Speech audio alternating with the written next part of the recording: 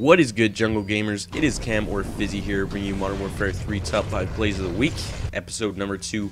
And to start us off at the number 5 spot is AG Dubstep 286. And he's going to uh, kill this guy and then get him again with a crazy 360 jumping throwing knife across dome.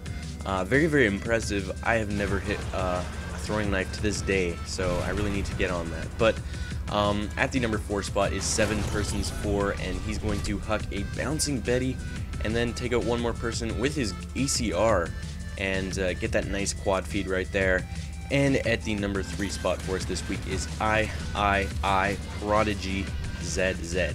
Yeah, that's a a crazy name, but he does some insane work here on lockdown. He's going to take out so many people. This is very very impressive.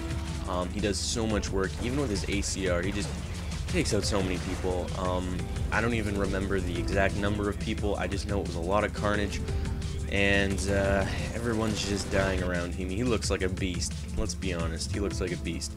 And at the number two spot for us this week is a pretty long clip from Laurie uh, 3, if I'm pronouncing that correctly. I don't know.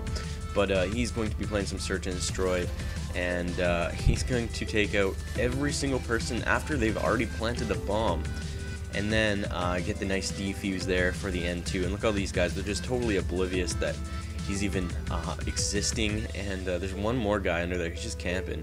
And uh, I don't know how he didn't realize that he took out his two friends there, but um, everyone is dead, and uh, he is able to just just defuse the bomb there. Seconds remaining, and uh, that was an insane clip. Nicely, nicely done. And at the number one spot at the top of the podium is J-Nick, and uh, he is going to be doing some insane work, um, showing some fine marksmanship here. He's going to take out six people for a sick six-man feed here, and uh, that is a lot of death. Unfortunately, missed the seventh guy there, but that was insane. Nicely done, and uh, yeah, so you guys know the drill. Send your clips into me via personal message only. And uh, yeah, we'll see you guys later. And I hope you had a good Christmas. Peace.